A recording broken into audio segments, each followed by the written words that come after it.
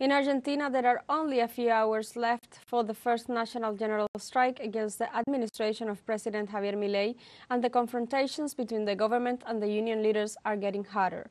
The leader of the General Confederation of Labor, CGT, Pablo Moyano, replied to the Minister of Security, Patricia Bullrich, that the march to the Congress on January 24th will be uncontrollable due to the number of mobilized workers.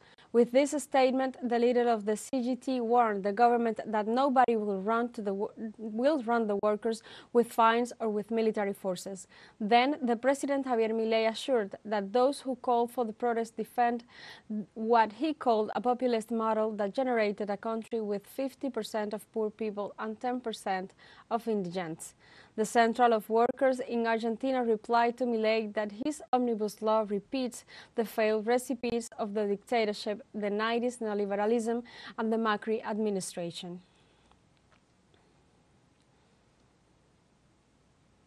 In this context, the Argentine government will send to the Congress a bill to reintroduce the country's income tax.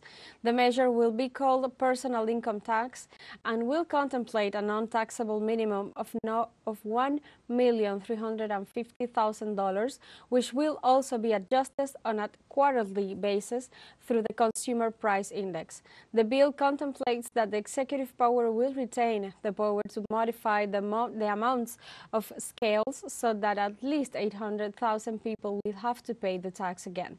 This type of proposals cause alerts in workers' unions who assure that the bill damages the workers' rights.